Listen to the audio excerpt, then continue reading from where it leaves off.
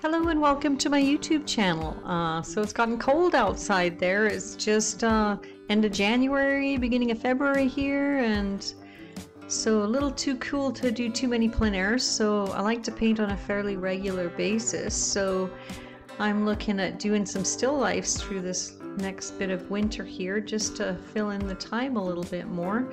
I worked on photographs predominantly last winter and just really craving just painting from life now. So what I've been doing is just setting up some little six by eight little paper, oil papers and uh, really just grabbing anything available around either the studio or the rest of the house and just coming up with some little little small still lifes that I can do in, in one evening.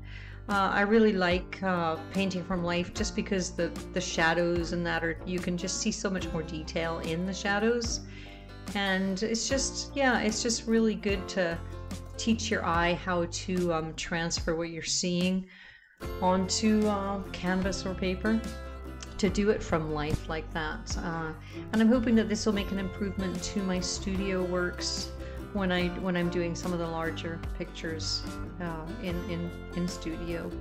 But anyways, this is a a little setup I came up with with just a little napkin and a tiny little dish with some berries, blueberries, raspberries, and blackberries in it. And uh, I always like it when I see um, uh, fruit detailed. And I do tend to love putting in that little bit more detail when I do still lifes. Uh, and I don't mind it as long as I'm painting from life. Uh, I go a little quicker when I'm doing the plein airs outdoors. I try to keep those to kind of an hour, hour and a half. I think this one ran a little bit more than that, uh, and I've sped it up in time just because it. I mean, it's it's kind of a, a, long process doing the still life, so I think a lot of it is a bit repetitive. So by speeding it up, you get the general idea of. Uh, of the flow of the painting and where I start and, and where the detailing comes in.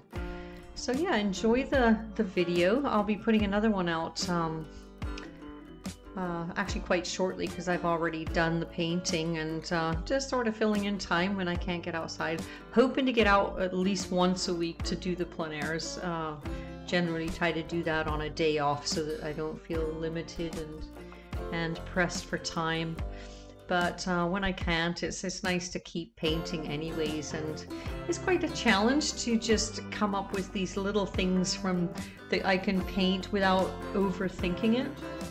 Try to keep the items to just one or two items.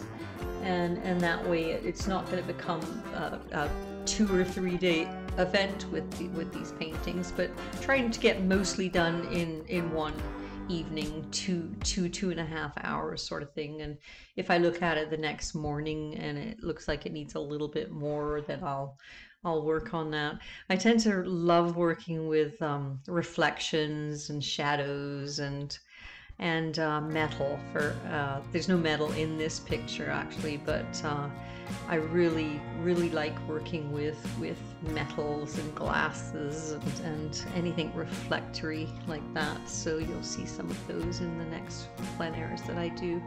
But uh, not really trying to limit what I pick for subject matter but just something that, that shows some good highlights and and is interesting enough to keep my attention but but they are fun once you get into doing these little still lifes. And I mean, I don't use them for any kind of resale or anything like that. These are purely for my own growth so that I can continue to paint even when I'm not going outside to do the to do the plein airs. Um, yeah, so enjoy the video. Give me a little feedback if you like in the in the comments section and uh, maybe pop me some ideas of what you'd like to see me paint for a still life. Um, otherwise, just enjoy the, the video, There's a little bit of music, and and it's sped up to the point where hopefully it won't it won't bore anybody to death until you get to the end. But thank you for watching.